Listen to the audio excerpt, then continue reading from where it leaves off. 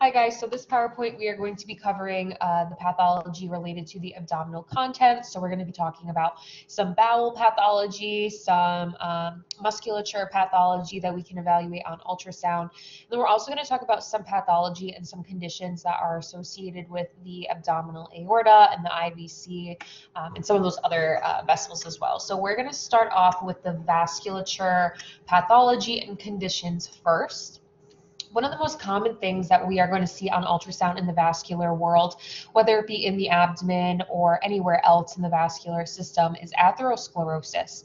Um, this is something that you have probably heard of on a commercial before, but it's basically when we have this like excessive amount of fatty material, which is known as plaque, that starts to accumulate within our arteries. Now, we don't usually see atherosclerosis in the veins. This is pretty much isolated to the arteries.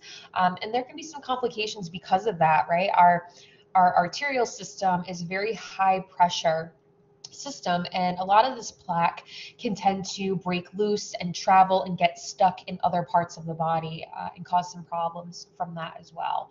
Um, so this is going to not only affect the cardiovascular system but the peripheral vascular circulatory system as well. So this is really going to be something that we can see throughout the entire body. Uh, we actually even see this in the arteries in the brain. So really atherosclerosis can affect any artery um, throughout our entire system. Now, as we said, there are some complications that are associated with this. Um, they can cause a thrombus. So the thrombus is when we have the accumulation of blood cells in an area. Atherosclerosis is when we have that accumulation of uh, fatty cells or fatty material. So there are two different types of blockages that can occur in a vessel, and particularly in an artery when we're talking about atherosclerosis that can cause an embolus. Um, excuse me, or a thrombus. Now, if we do have a thrombus caused by atherosclerosis, or we have just atherosclerosis itself, a little piece of that plaque can break off and travel. And if it travels, if it starts to move, that's when it's now known as an embolus. So if a thrombus, the accumulation of blood cells, or atherosclerosis, the accumulation of fatty cells, starts to move, that is when we term that material an embolus, right? So we're talking about the action of it traveling. Um, atherosclerosis can also cause stenosis or occlusion. Now, stenosis is the narrowing of the vessel, so it's no longer it's it's so congested and there's so much plaque accumulated in that artery that the normal blood flow can't travel through as easily as it should, right? So think of a highway. If you have two lanes closed on a three-lane highway due to traffic, well, how slow is traffic going to be moving in that one lane that's open? pretty slow, right? We're not going to get as many cars traveling through because of that blockage from the atherosclerosis. Um, and then also occlusion. Occlusion is when a stenosis gets so bad or a vessel is so blocked that absolutely no blood flow can travel through it. So an occlusion is when they shut down all three lanes on the highway, nothing gets through. Clinically, patients are going to be more susceptible to atherosclerosis if they have a history of smoking, um, if they have hypertension, hyperlipidemia, which means that they naturally have more fatty cells um, accumulating in their blood, um, and then also patients who are diabetics or have uh, poor lifestyles, poor dietary habits are going to be more prone for this. On ultrasound, we are going to be looking in the internal aspect of that vessel, right? So we are looking in the inside lumen of the vessel. We're going to start to see some of those irregularities that are commonly going to start to occur along the wall of the vessel.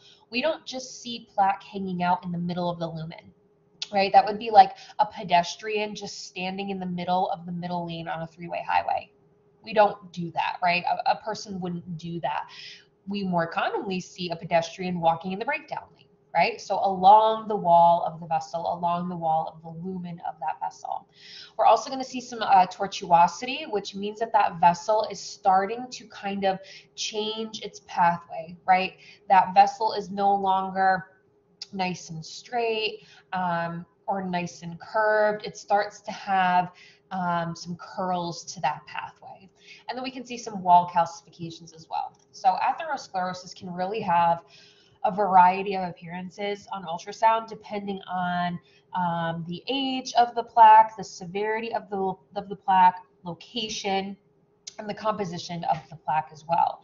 So that top left picture, this is um, a picture of a piece of plaque in the aorta, and it's very calcified here, right? We can see it's super hyperechoic and we're getting that shadowing posterior to it. It also looks like it's kind of starting to head into the middle of that lumen of the vessel. So we would be pretty concerned about an embolus in this scenario, right? That plaque breaking off and traveling. Now the picture on the bottom, that picture A, that's showing a nice, clear, distended lumen, right? There's nothing hanging out along the walls of this vessel on either the anterior wall or the posterior wall. But then when we look at the picture on the right side B, we start to see that there's all this plaque hanging out in the vessel. Now you may think that the lumen itself is actually just this thick, but it's not, right? It's really this thick. And we have all of that narrowing, that stenosed part, because of this plaque. So we really want to be aware of that wall integrity. Now, plaque itself tends to layer on the posterior aspect of the vessel wall. We'll come back to this in the fall, but it's really important for us to think about gravity, right? We spend a lot of our time laying down, a lot of our time sleeping. So as we are laying down and we're laying on our back, that plaque and those fatty cells are going to accumulate along that posterior wall of the vessel. That's just natural in terms of um, gravity for us. So that tends to be a registry question that they like to throw in there. Next, we are going to talk about an aortic aneurysm. So there are several different types of aortic aneurysms, and we'll talk about each of them. There's also something called a pseudoaneurysm, which is kind of like a false aneurysm, but it's still just as important and just as scary. Um, we'll get to that as well. But the uh, any type of aneurysm itself is when we have this abnormal dilation of a segment or of an entire artery, right? So that artery, arterial wall or that artery itself is wider than it should be. And as it gets wider, whether it be in a segment or the entire artery length itself, as it gets wider than it should be, it's causing the vessel walls to stretch, right? And as that stretching is occurring, it's weakening the muscles of that arterial wall. And we are more prone to rupture because of that. So we worry about aneurysms quite a bit and we follow them very, very closely. So a triple A stands for an abdominal aortic aneurysm. These are typically going to be located in the aorta underneath where the renal arteries come off, right? So we're going to see our renal arteries branch off. We know our left branch is slightly distal to where our right branches off. And then that's going to be the most common spot for a triple A to occur is right underneath where those renal arteries are branching off, right before the aorta bifurcates into the common iliac arteries. Now, some common types of um, aneurysms, we have fusiform, we have saccular, we have mycotic, and we have ectatic. Now, there are other types of aneurysms out there as well. There are kind of like these subcategories if you were to take it a step further we don't necessarily need to know all of that information. So a fusiform aneurysm, this is when we have this uniform dilation that kind of extends a particular length of that artery. So it's a little bit more diffuse and it's affecting a little bit more length of that artery, but it's typically less likely to rupture because it's not this focal widening and rapid weakening of that arterial wall muscle. Now saccular, this is going to be a little bit more concerning. This is when we have this focal outpouching or this very focal dilation in like one small segment of the artery. A mycotic aneurysm is going to be any type of aneurysm that is infectious. So there is inflammation, there's infection, there's all of those other processes associated with an infectious process now also affecting the weakness of that dilated arterial wall. So that's really where we're starting to get concerned uh, for a rupture, right? Because not only is the aneurysm causing a weakening of that wall, but now we have an infection that's causing the weakening of the wall even further. And then we have ectatic. This is a, the most diffuse form that we can have of an aneurysm. This is when that dilation occurs for the entire length of that vessel or of that artery clinical symptoms, a lot of patients are going to be asymptomatic, uh, but sometimes when they go to their doctor, their doctor is going to hear something abnormal. So they're going to hear what is known as a bruit, and that is when we are listening to any type of arterial pulse, and it sounds like a thrill. Right? It almost sounds like a continuous thrill instead of the very abrupt lub dub of an artery, right? When you hear that artery, you hear lub dub, lub dub, like the heart contractions. This with the bruit, you hear a little bit more of a consistent type of thrill happening within that vessel. Uh, the patient sometimes, depending on how big these aneurysms are or where they're located, they can have back pain, leg pain, or abdominal pain. And sometimes, depending on how thin our patient is, we can actually see and palpate the aneurysm. So that's always very concerning. On ultrasound, again, it's going to uh, depend on what type of aneurysm, what location, the size of that aneurysm. Is there anything else going on within that artery, right? Is there a thrombus? Is there plaque? Are there calcifications? Are there any wall irregularities? All of those things you want to be interpreting and evaluating when we're looking at an aneurysm when we are measuring an aneurysm, we are always measuring mainly in transverse so we have that cross section at the widest part of the dilation of that vessel, and we are measuring an AP, so anterior to posterior, and width in transverse. And then in SAG, we're doing a length if possible. Now, if you have an ectatic aneurysm, we're not really going to be able to get a length in SAG because it's extending the entire length of that vessel, right? But if you have a saccular aneurysm where it's a very focal outpouching, when we elongate that in SAG, we'll be able to see it and provide a length measurement if possible. So let's take a look at what some of these look like. Here we have our fusiform versus our saccular. So you can see that saccular on the bottom. Even the diagram, like this looks pretty worrisome. That looks like if you have a pimple and it's like a whitehead and it's ready to go, like that thing could burst at any second, right? That's kind of the same concept with the saccular aneurysm. It's very sensitive to any type of pressure change um, or any type of like blunt force trauma to the abdomen. Like we really want to make sure that we are um, you know, treating those patients properly. Whereas fusiform, yeah, we're still dilated, we're still wider than we should be, but we're probably less likely to rupture. That's like a pimple that's kind of just like brewing underneath the surface. Like you can feel it deep in there, but you can't really pop it yet. It's not really making itself visible on the surface, right? So we're going to kind of leave that pimple alone. Um, and you can see here is the fusiform in SAG in the saccular and SAG. So we would be able to measure both of these in a length.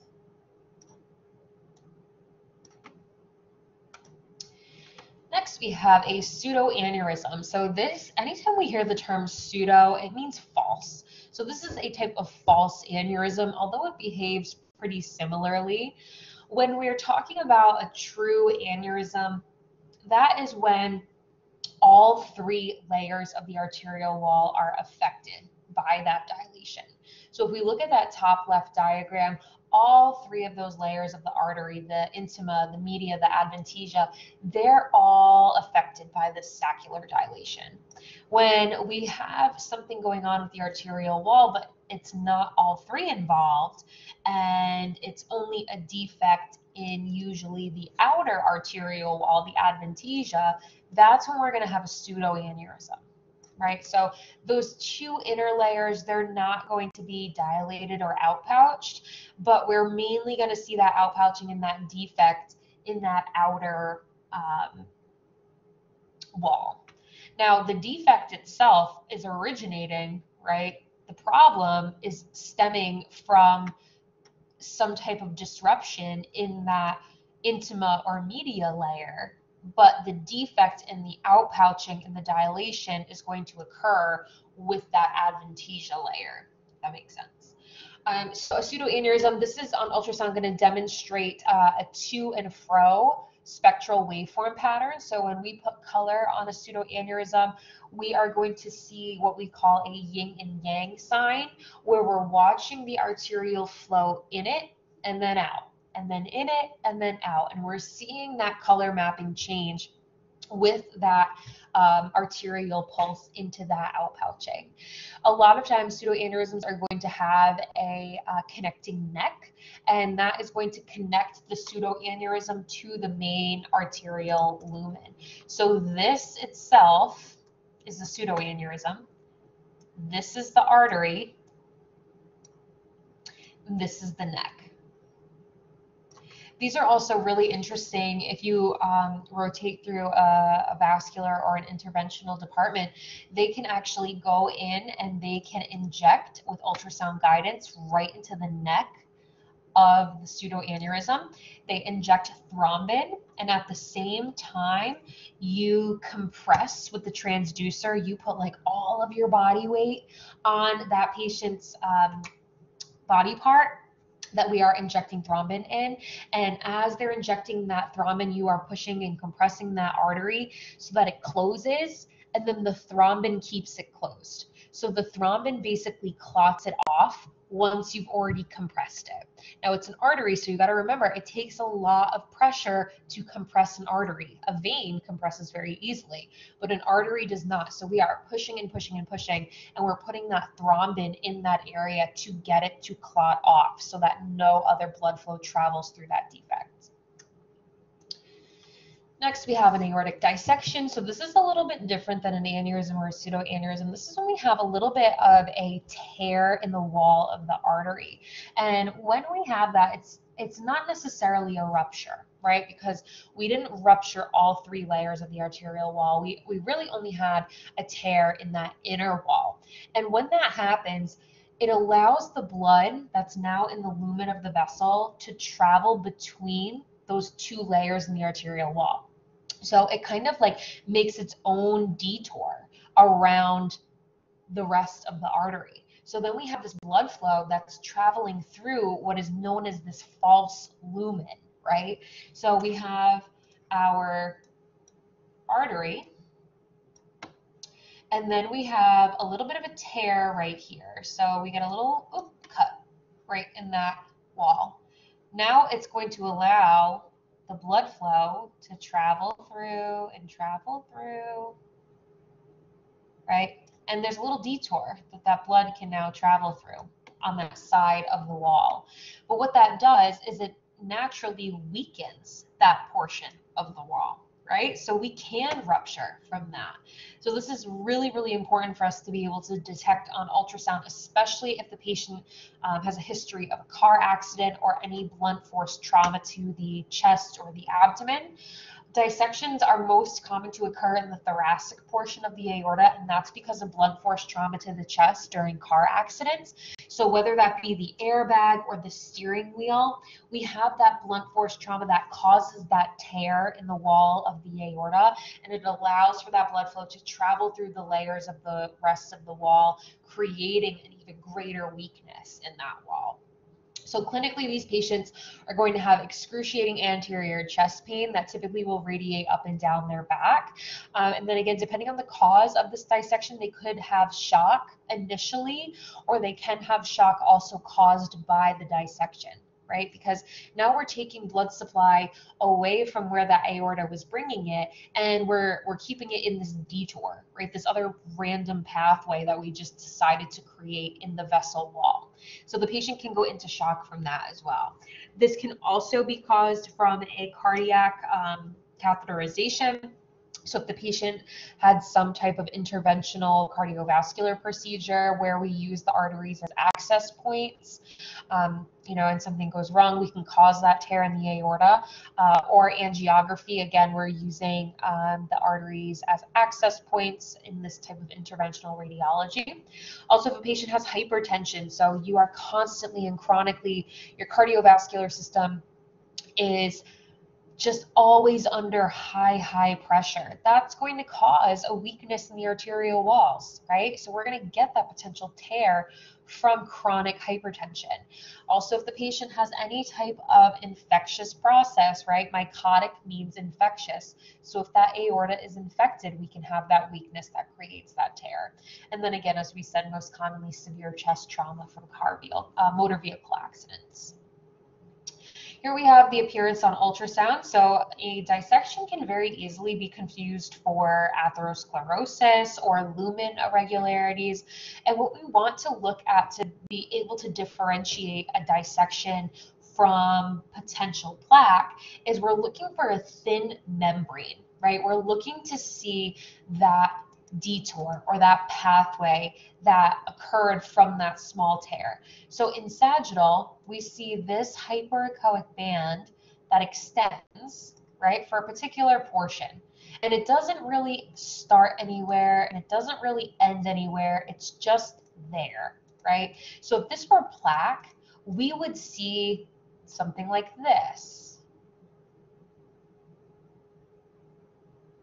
right? But we're not seeing those starting points and end points with this. We're just seeing that thin floating membrane.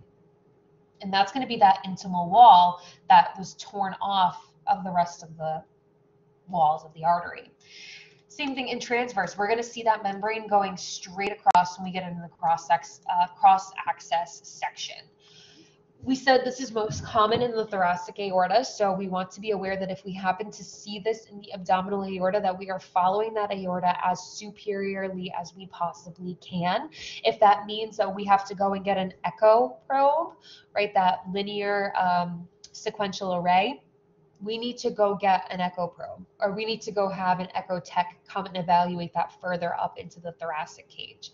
We also want to make sure we're following it all the way down as distally as it goes. So you can have this tear extending the entire length of the aorta, right? From the aortic arch at the top of the heart all the way down to the common iliacs and into the legs. So we want to be evaluating that as long as it is possible. Next, we have an aortic rupture. So these are fairly uncommon. Um, if you have Chelsea in lab, she will be happy to uh, share a story with you guys about how um, one of her patients experienced an aortic rupture. This is fairly uncommon, although it is extremely serious. It has a 50% mortality rate, so only half of patients with aortic ruptures will survive regardless of medical intervention. These are going to be more likely to occur when we have an aneurysm, right? And if that aneurysm is really big, so greater than six centimeters in any dimension, the uh, um, saccular aneurysms and the mycotic aneurysms are going to be the most common. So again, any type of infectious aneurysm is really going to run the risk of rupturing.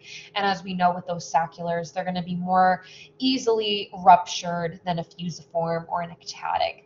Um, these ruptures typically occur in these aneurysms if they're located above the renal arteries. So we just said previously that aneurysms are more common below the renal arteries, but if we happen to have a patient who has an aneurysm above the renal arteries, we need to take that a little bit more seriously and make sure we're following that patient um, as well as we can. These patients are going to have severe abdominal pain, um, and then on ultrasound, we're going to see that large aneurysm, and then we could see some anechoic uh, fluid collections surrounding that aorta. Uh, so in those retroperitoneal spaces, we're going to start to see blood accumulating in those areas. Usually, um, if we're doing an ultrasound at that point, um, it's pretty much worst case scenario. We like to catch these things before they actually rupture. So um, it's not common for us to be performing an actively ruptured aortic exam. That patient's going to the OR. Um, moving on to our gastrointestinal. So um, as for our IVC, we're going to learn more about that in the fall, but really um, the only thing that we need to be concerned about is any type of obstruction or thrombus. And we did speak about thrombuses um, right at the beginning of this PowerPoint. It's that accumulation of blood cells that get stuck in a vessel. Atherosclerosis occurs in our arteries. Thrombus is more likely to occur in our veins. Okay, so you can have atherosclerosis that occurs in your veins, but it's not likely. And you can have thrombus that occurs in your artery, but that's also not likely. So thrombus is more common in veins. Atherosclerosis is more common in arteries. Now with the IVC, that's still a vein, so it is still prone to being clot. And if we happen to see a clot in the legs, we want to follow that clot and see if it goes all the way up to our IVC. So that's really the only thing that I would expect you guys to know right now is that if you see a clot in your upper portion of your leg vein, you see a thrombus in the upper portion of your leg vein, you need to go up and check your IVC to see if it's extending up that far as well. The other thing too is the Budd-Chiari syndrome. That's the obstruction of the IVC and the hepatics. So as of right now, that's all I expect you guys to know in terms of pathology for the IVC in reference to abdominal vasculature. So moving into our gastrointestinal. So bowel is not our friend. We don't like bowel. Bowel does not like us on ultrasound. But if we are expected to evaluate it, we need to know what it looks like. So normal bowel imaging is known as the gut signature, and this goes in order from the lumen outward. So from the internal portion of the bowel loop out, it goes hyperechoic mucosal layer, and then hypoechoic intramural, hyperechoic submucosal, hypoechoic muscularis, and hyperechoic serosal. So whatever you need to do, whatever kind of acronym you need to create to get you to remember that, that is exactly what you should do for this information. Normal bowel is compressible, so when we put pressure on it, it should move or it should compress, and we should be uh, visualizing peristalsis. So we should be watching that bowel actively move and transport the material through it while we're scanning. So here in a perfect world, this is what bowel would look like. Um, that has no gas in that bowel loop. So you can see all of those layers of that um, bowel loop nice and pretty, right? But in reality, this is what we're getting. So we're seeing all of that gas that is stuck inside those layers of the bowel. Okay, so first we have Crohn's disease. So this is not necessarily something that we would be evaluating for on ultrasound, but we do need to be aware of it because a lot of our patients do suffer from this. So this is the manifestation of inflammatory bowel disease, and it consists of chronic relapsing bouts of inflammation. So basically their gastrointestinal system is just chronically inflamed. And as we know with any vessel that is chronically inflamed, it unfortunately is going to lead to it not functioning properly right? So the ileus or the ileum is the most common uh, location for Crohn's to kind of manifest. So that ileum at the distal portion of our gastrointestinal system is just chronically inflamed for these patients. Some complications from this because it's intestine that's chronically inflamed, right? It's not going to work as well as it should. We could have bowel perforation because that bowel is very weak due to that inflammation. We could have abscess formation. We could have ulcers forming. We could have fistulas forming. So we really need to be aware of the severity of Crohn's disease um, in our patients.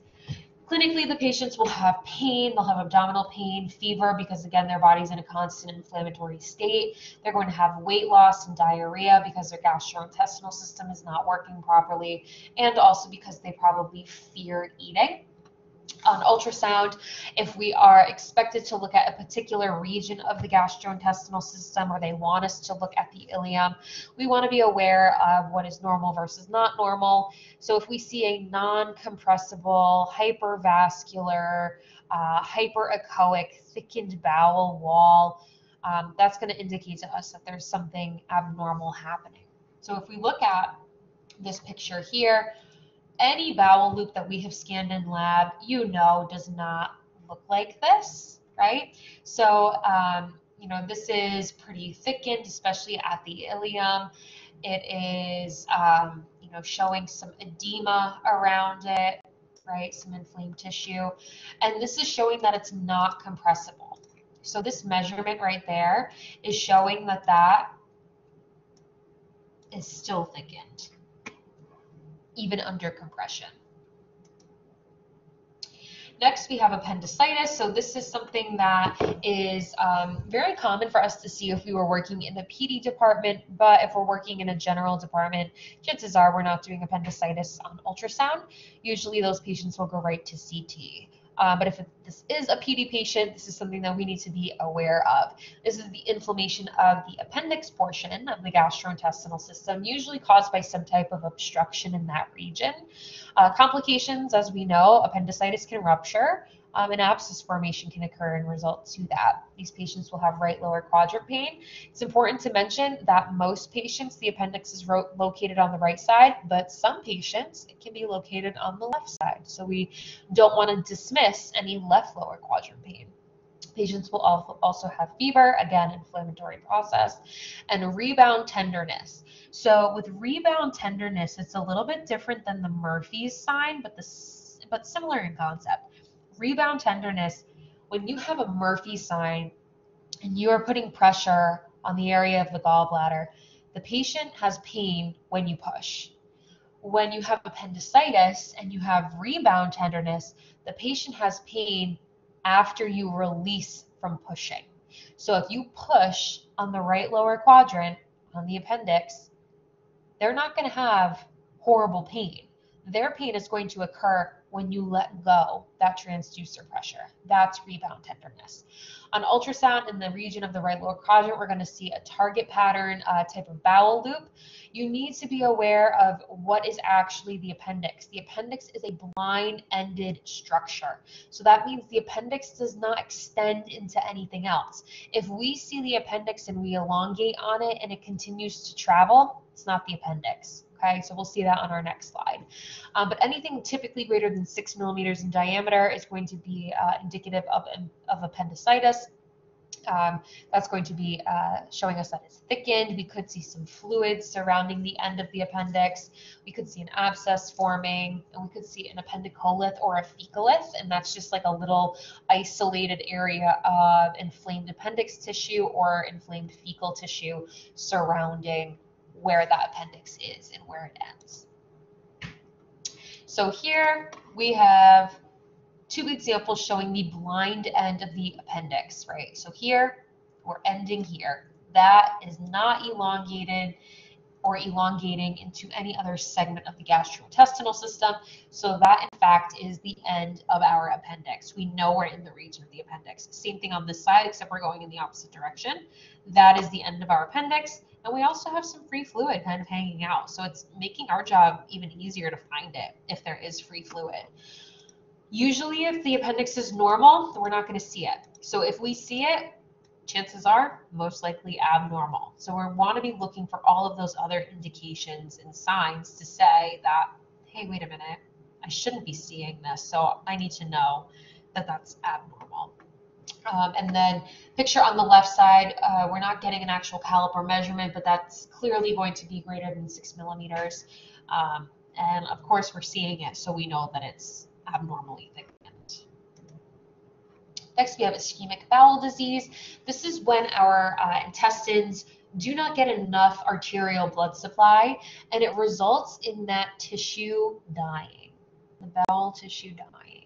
Um, so it's a rough situation to be in when your bowel just literally starts to die off because it doesn't have blood supply. This is a very urgent condition, and we treat this with blood thinners uh, and vasodilators. So we widen the vessels that supply the bowel to make sure that as much blood flow can get through as possible. Clinically, these patients are going to have abdominal pain and weight loss. They'll also have postprandial pain. So that means that they're going to have very severe abdominal pain after they eat. On ultrasound, we are going to see hypovascular bowel, right? Because if we put color on the bowel and we don't see any blood flow, well, then we have to say, is it getting any blood, blood flow to it? What's going on with those vessels that should be supplying that bowel.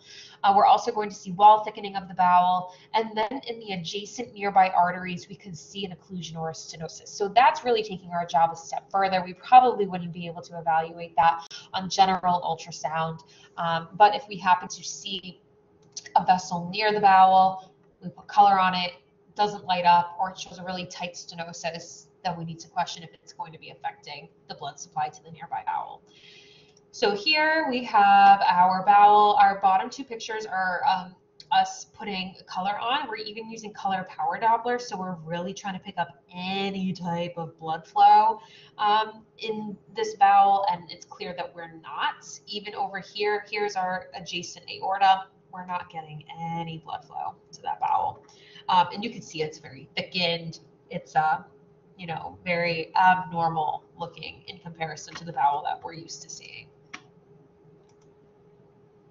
Next, we have adenocarcinoma, and you're like, wait a minute, I just did this. I just put this in my in my pathology chart. I just did it. It's something that we can see in any type of organ that has functional tissue, right? So just like we can have an adenoma that happens in any type of functional tissue, well, guess what? We can have the same type of tumor formation but it's malignant. So we can have adenocarcinoma um, located all throughout the abdominal system and the gastrointestinal system. It's going to be a malignant uh, primary source of cancer that's originating from glandular tissue. So in this case, we're talking about gastrointestinal tissue. We're talking about bowel tissue. So the most common location for this to occur is going to be in the colon, the rectum, and the rectosigmoid portions of the uh, GI tract. Clinically, the patient can be asymptomatic. Uh, it can result in bowel obstruction, of course, because it's a tumor growing in the bowel. Um, the patient can have anemia from it. They can have changes in bowel habits, either too often or not enough. Patient's going to have weight loss. On ultrasound, it's going to appear as an actual mass within the bowel. So we want to make sure that, hey, if we see a mass hanging out in the abdomen, is it an abdominal mass or is it a gastrointestinal mass? Is it sitting within a bowel loop? Is it in the gastrointestinal system? Or is it a retroperitoneal tumor? Or is it an exophytic ovarian tumor? Is it an adnexal tumor from the pelvis? So we really need to be sure of where it is originating, especially if we're questioning it being part of the gastrointestinal system. Because as we know, like it's really hard to prove that something is normal or abnormal with the bowel. So in this case, we really need to be aware of where it's positioned and what it is um, in relationship to. So here we have an example of adenocarcinoma. Now picture on the left side, you're probably thinking like, well, that's probably just like a bowel loop with some gas in it, right? But this should draw your attention. And you should say, well, wait a minute, what the heck is that? Is that like some of my spleen coming in? Like, what is that? That entire thing is the adenocarcinoma sitting in a loop of bowel. Now you're probably saying, well, where's the loop of bowel? And if you look at the picture on the right side, this whole thing is a bowel loop. Right? So here is the abnormal appearance of that bowel loop but look at the effect that it's having on the rest of the bowel loop. Moving on to our gastrointestinal obstructions. So these are not really any um, malignancies, but these are pretty problematic situations that our patients can be in. So our first type of obstruction is, an, is a uh, mechanical obstruction, and this is any type of physical blockage of the bowel, either partial or complete, meaning either some material can still get through the obstruction or absolutely nothing can get through because of this physical blockage that's occurring at some segment. The patient is going to have abdominal pain and um, distension as well as vomiting. And if you think about, well, why would they be vomiting? Nothing else can get through, right? If they have a complete mechanical obstruction, nothing can get through. So anything they eat has to come out. And if it can't come out one end, it's got to come out the other end, right? On ultrasound, we're going to see severely dilated bowel loops due to all of that backup and all of that pressure. We're going to see hyperperistalsis, and that means that the bowel is peristalsing way more than it should be because it's trying so hard to get everything to move through, even though it can't. Um, and then we're going to see diameter alterations of the affected dilated bowel. So of course that bowel is going to be very dilated. Here on x-ray is um, quite an obvious progression of different mechanical obstructions. Now picture on the left-hand side, this is a totally normal abdomen, right? We see some bowel loops. If you look very closely, we see a bowel loop here. All right, we see all this bowel loop over here. Oh, we got some gas in this bowel loop over here. And we got more bowel loops going down into the pelvis there, right? But everything looks like pretty smooth sailing. This right here, it's black right here because that's air in the stomach. So that's kind of the proximal part of our abdominal system or our gastrointestinal system. Now this picture in the middle, we're like, what's going on, right? Like, why is this very prominent right here? There's an obstruction right here. There's some type of blockage right there that's causing this backup at that level. Now this picture on the right hand side, woof. Like that must be extremely, extremely uncomfortable. This is showing dilated bowel loops throughout the entire length of this person's gastrointestinal system, all the way back up to their stomach. So this means that there's a very distal obstruction. There is some obstruction happening right at that rectal region that for some reason just cannot get the material to move through. So it is totally backed up the entire length of this patient's system. So what an unfortunate situation. Um, next, we have a paralytic ileus. So this is actually, um, it's still considered a type of, of, an obstruction, but it's not necessarily something that's like blocking the system, right? This is the actual paralysis of the musculature happening inside the bowel loops, inside the intestines. So our normal intestines, they have like this natural uh, muscular movement and contractions that move everything through the way that they should. But then when we have a paralysis of that musculature, nothing is going to happen, right? It's not naturally moving anything through it anymore. So it is technically a, a type of obstruction. Clinically, the patient will have changes in bowel habits, distension, and pain. On ultrasound, we're going to again see dilated bowel loops. We are going to see aperistalsis in this scenario. So unlike the mechanical obstruction where peristalsis is happening in overdrive to try to get all that stuff out, this is the actual paralysis of those muscles that cause peristalsis, right? So if those muscles that are responsible for peristalsing everything through are paralyzed, we're not going to have peristalsis, right? Uh, and then we also can see some fluid-filled, uh, fluid fluid levels in the loop. So that is what we are looking at on this picture here. So here we have that X-ray. The, the majority of where we're looking is right up here in the stomach region. And we see this very sharp line here, very sharp line here, another sharp line here. And this is because the patient is standing. So because of gravity, it's pulling this fluid down, pulling that fluid down, pulling this fluid down. So we're picking up those fluid levels in the bowel. It's pretty interesting uh, x-ray concept. Next, we have intussusception. So this is something that is very common in pediatric patients and very uh, young infant patients because their gastrointestinal system is just trying to figure itself out. And what this is is the telescoping of one bowel segment into the next bowel segment. So if you look at our diagram on the top there, you can see like instead of a normal pathway, this section of the bowel got sucked into this section of the bowel.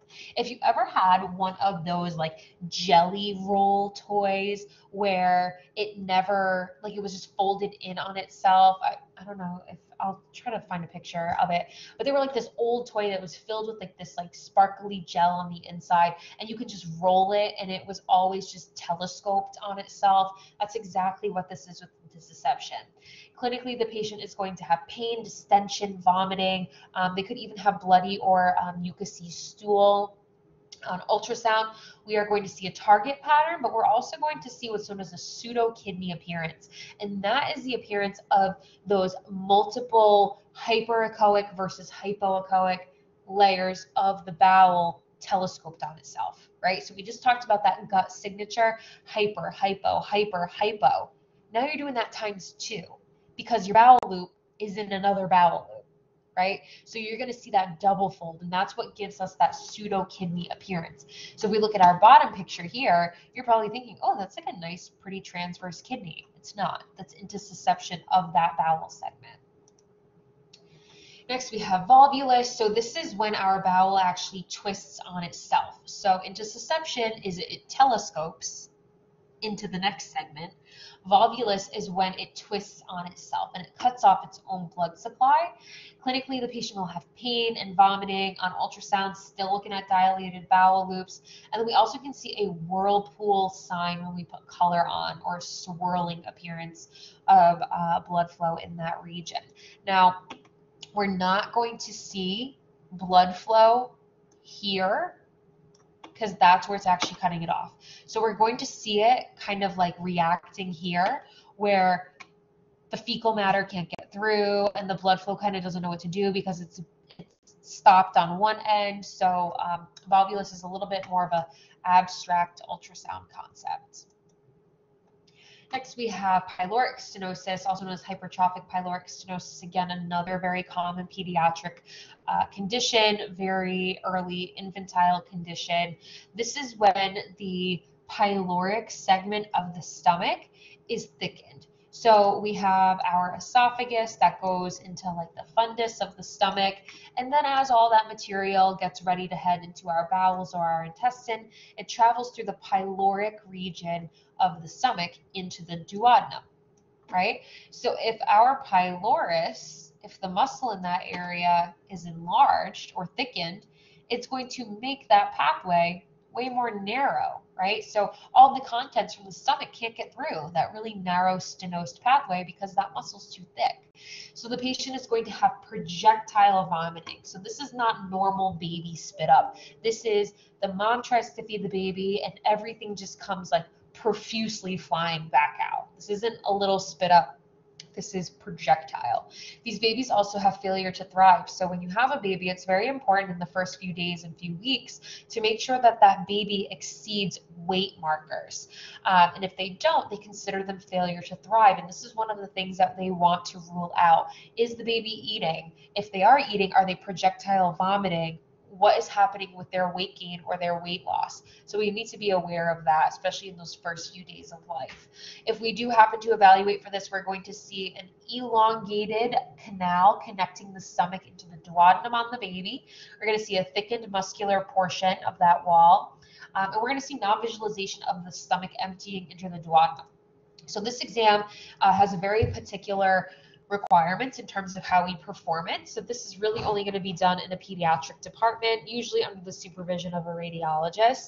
And you will have the patient come in um, in a fasting state, and you will ask the mom, you'll be scanning this region, you'll ask the mom to give the baby some food.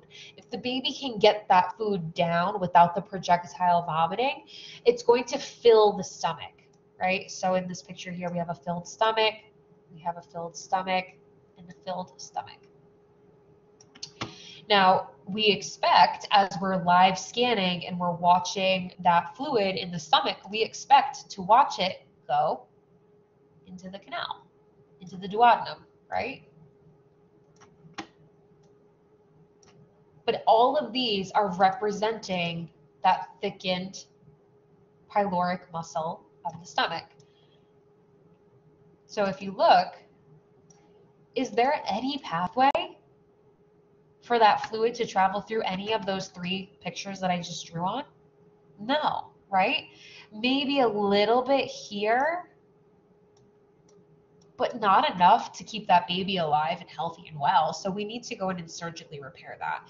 Now this picture on the top left side, this is where I'm showing you the normal appearance of the duodenum that we're used to seeing, right? You guys question this as the gallbladder a lot, right? Or the main portal vein a lot. So we need to be aware of where that duodenum usually sits and the typical appearance of it so that if we do happen to see this kind of elongated, thickened portion in that region of the duodenum, we could say, whoa, wait a minute, what's going on with this baby? Are they eating enough, right? Is there a stenosis in that region because of that thickened muscle?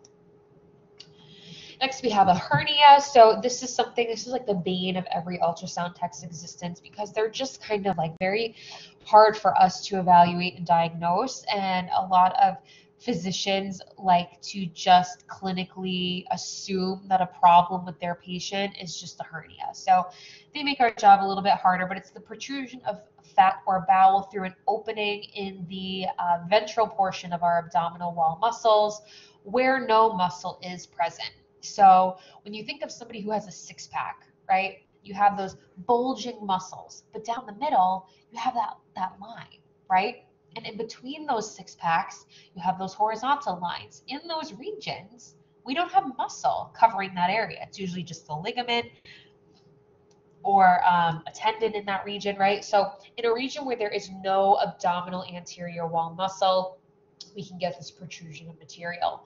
This can either be acquired or congenital. So you can have this um, just as you develop, or you can get this from trauma, overexertion. We see this a lot in bodybuilders. They're just overusing and they're putting way too much tension on those abdominal muscles that it creates a weakening and a separation of the abdominal muscle from the wall. So it allows that protrusion to come through.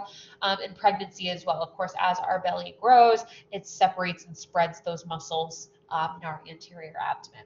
Now you can have a strangulated hernia, and this is when you have that protrusion of material through that defect, and then it actually starts to cut off its blood supply.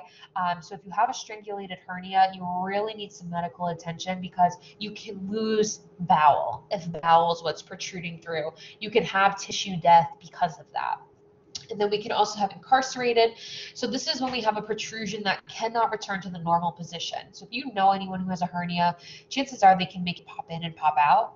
If they can't make it pop back in, then it's going to be incarcerated, right? So just think of like if you're in prison, you're incarcerated, you're stuck there, right? You're not getting back into the real world for quite some time, right?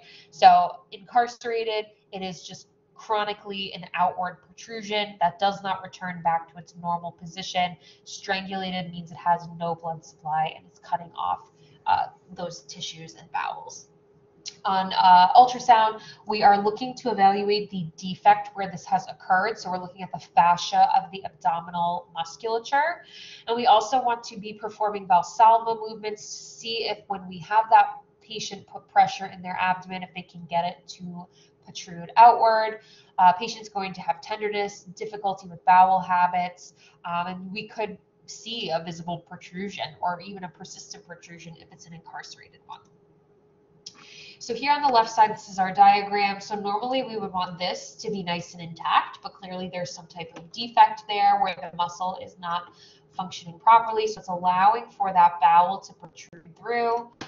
If we look at our picture in the middle, here is our normal six pack on one side joining with the other six pack on the other side. Here's that midline that doesn't really do anything on the bodybuilder, but we can still see it. It's still nice and in contact. That's a um, tendon in there holding it together. Now, when we have that six pack on that side, Oh, and it's starting to separate from the six pack on the other side. Now we have this defect here. We have this separation. And this is our hernia. So see how discreet that is?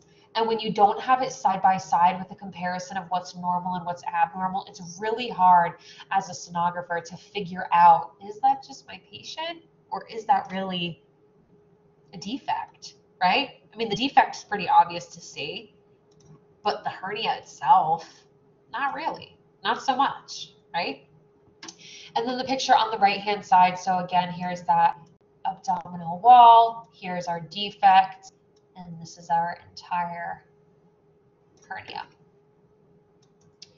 Next, we have a rectus, rectus sheath hematoma. This is very common after a patient has a C-section. It is a focal collection of blood within the rectus sheath. We usually uh, get this from trauma or surgery, and the most common surgery that happens across the rectus sheath of our abdomen is a C-section. So we see these a lot in new moms. Clinically, the patient will have pain, palpable mass, decreased hematocrit. Remember, anytime we're talking about lower levels of hematocrit, we are questioning a bleed somewhere, right? On ultrasound, it's going to appear as a focal mass with variable echogenicity. If it's an early bleed and it's just starting to accumulate, it's going to be anechoic.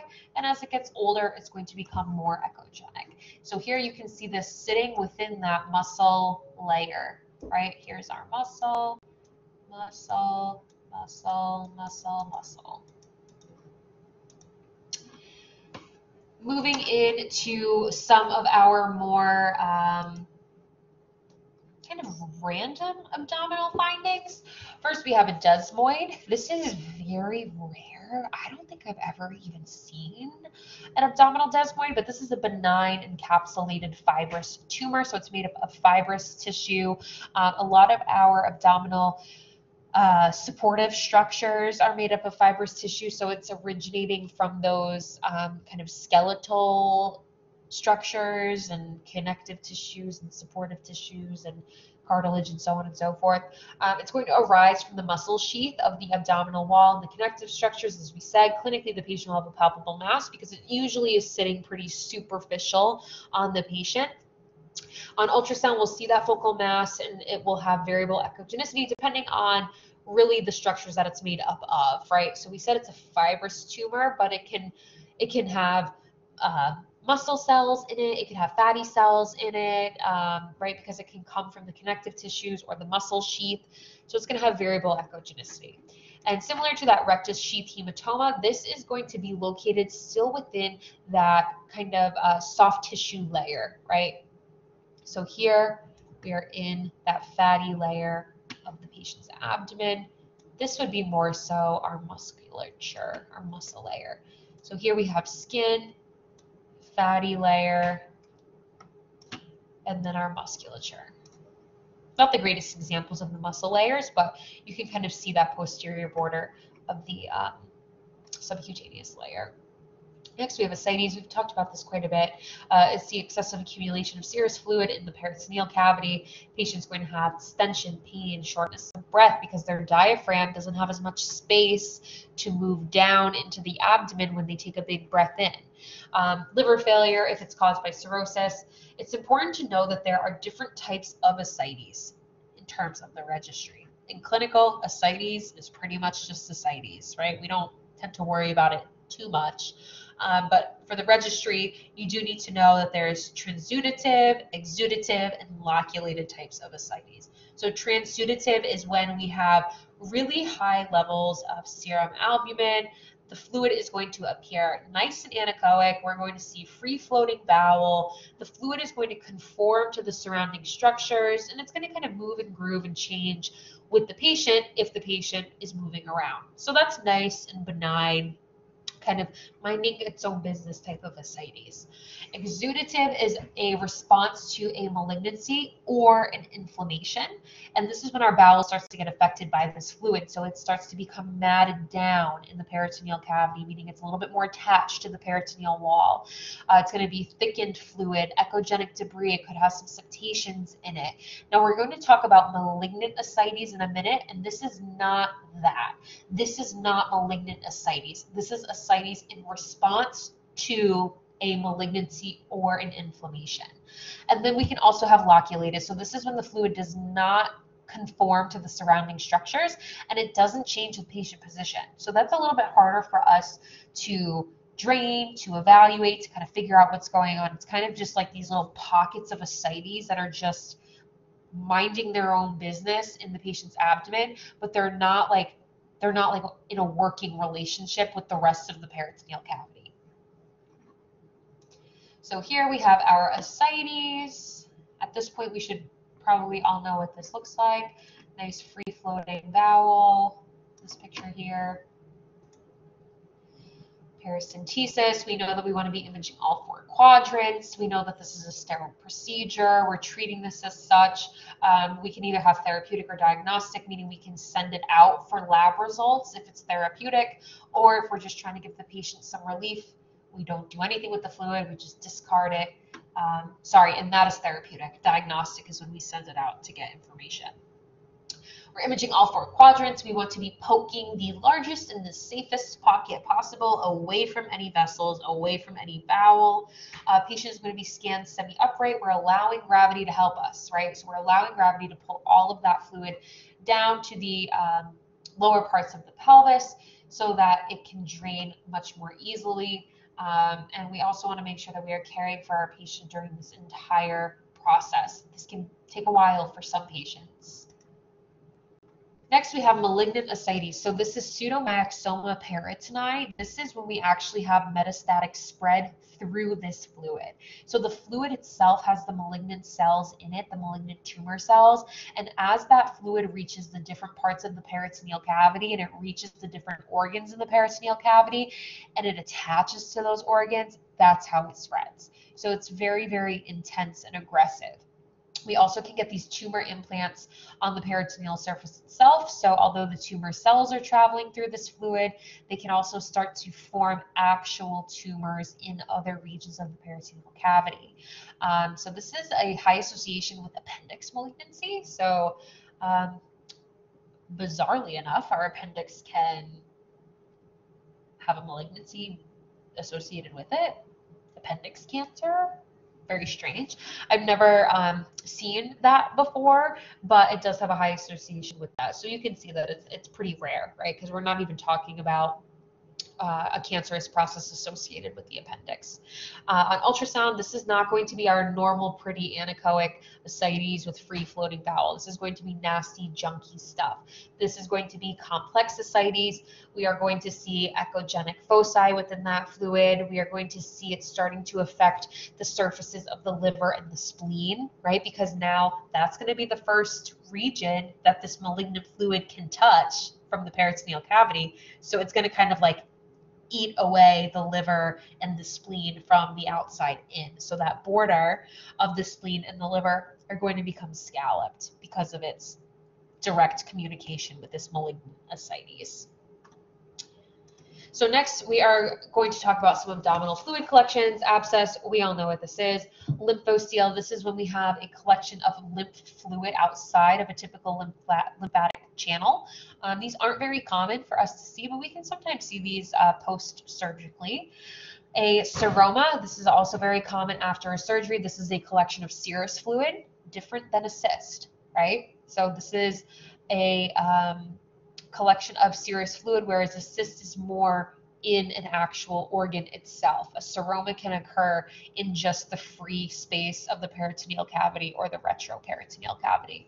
A biloma is the collection of bile outside of the gallbladder, so we would never really be able to tell the difference between a lymphocele, seroma, or biloma unless we were actually sampling that fluid. Um, and these are all going to have varying ultrasound appearances due to the fluid content, age, and location, um, and of course different clinical presentations due to the cause and duration. Next, we have some retroperitoneal tumors, and it's important to understand the uh, word breakdown of. When we have a malignant retroperitoneal tumor, it's going to end in a sarcoma. The benign version of that will just be the root of that word. So when you have a lipoma, that's a benign tumor made of fat. When you have a liposarcoma, you have that same thing, but it's a malignancy arising from fat. So benign, you have a leiomyoma. This is um, composed of smooth muscle cells. Rhabdomyoma is composed of striated muscle cells. Fibroma is from connective tissue, and then the malignant counterparts of that. Next, we have adenopathy and lymphadenopathy. So we kind of talked about this last week uh, a little bit with our lymphatic PowerPoint. This is the um, visualization of lymph nodes or the enlargement of lymph nodes if we're talking about uh, adenopathy, right? So lymphadenopathy, when we have that apathy, that is saying that there's something abnormal going on with that lymph node. Um, so it's usually the enlargement caused by an inflammatory process, tumor, or met metastatic spread. We can see these lymph nodes accumulate in regions other than the neck, axilla, and groin right? So we can see lymph nodes enlarged in the abdomen, but they're pretty pretty worrisome if that's the case. Uh, we can see these around the aorta, near the mesenteric and the celiac arteries, in the hypogastric region uh, when we're talking about our abdominal segments. And then we can see these intraperitoneal near the splenic hilum, near the pancreatic head, and near the hepatic hilum as well. On ultrasound, the patient could be asymptomatic. They could have a palpable mass in a particular area, or they could also have fever, elevated white blood cell count. Um, so they really can have a variety of clinical appearances depending on the cause of why these lymph nodes are enlarged. Now, usually it would be less worrisome if our patient has a fever and elevated white blood cell count because that tells us that they're fighting something off. They're fighting off some type of infection, and that's better than there being a malignancy, right? So we kind of want to see that response if we're ruling them out as more likely to be benign. On ultrasound, we are going to see these um, in those particular regions. We don't see these super large in the abdomen right? We said that these lymph nodes can get really big in the neck, the axilla, the groin, and that's totally fine in those regions. It's not totally fine when we see them that big in the abdomen. So we want to see these less than a centimeter in size. If we see them, and if we see them greater than a centimeter in size, we need to question them. We also want to see them have nice hilar vascularity. We want to see them be homogeneous, medium level echogenicity, and then we can see some potential displacement or compression of vessels surrounding these this lymph node depending on where it's located. If we have a lymph node that's located near the pancreatic head, well, we know that there's so many vessels that travel in that region, and same thing with the hepatic hilum. If we have a large lymph node there, it's going to start to compress and displace those vessels that are surrounding it. So again, we need to work that up and figure out why those lymph nodes are doing that. So here we have our um, two two examples of lymph nodes still in that parapancreatic region. Here we have our liver, and here we have our pancreatic head. Now, I don't remember this case study particularly, but I don't, I'm not 100% sure if this is an additional lymph node, but here we can see that this is a pretty good size lymph node. Uh, same thing with this picture on the right side. Again, we have one here, and we have another one here. Now, these don't have that normal appearance that we talked about last week right? The hypoechoic cortex with the hyperechoic central portion, these appear more solid-like. Now, if we saw lymph nodes that looked like this in a patient's axilla, even though they're small, we would question them being malignant. But because these are intra-abdominal, we're not worried about these as much because we don't see that cortex and we don't see that inner central portion. We are mainly looking at the size when we're looking at an intra-abdominal lymph node. And next we have lymphoma, just finishing up here with our lymphoma and our metastatic spread. Um, lymphoma, the primary neoplasm of lymphoid tissue. So this is going to come from any lymphatic structure. Uh, this is very closely related with metastatic spread to the gastrointestinal tract. So if a patient has a history of lymphoma, regardless of the type that it is, we really want to be able to get that patient the proper evaluation of their GI system. Clinically, it's going to depend on the location of the lymphoma, the spread of the lymphoma, if it is affecting the GI system. If it is, where is it affecting it? The patient could potentially be asymptomatic. They could get a bowel obstruction depending on where that lymphoma is spreading to. Um, patient could have weight loss on ultrasound, if we are evaluating a particular segment of that bowel in a patient who has lymphoma, we are seeing it thicken, we're seeing hypoechoic bowel, possible mass in that region, and a target-like pattern to the bowel loop. And then our metastatic spread. So as we know, spread of malignant cells from a primary site to another region. Clinically, again, really depending on, on the patient's situation. Where is that primary located? Where are we questioning that it's affecting, right?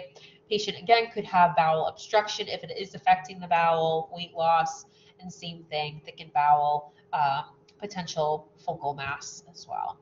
So lots of information on this, a lot of information that we probably won't see too often in clinical, um, a lot of PD conditions that we need to be aware of as well. So any questions, please feel free to reach out.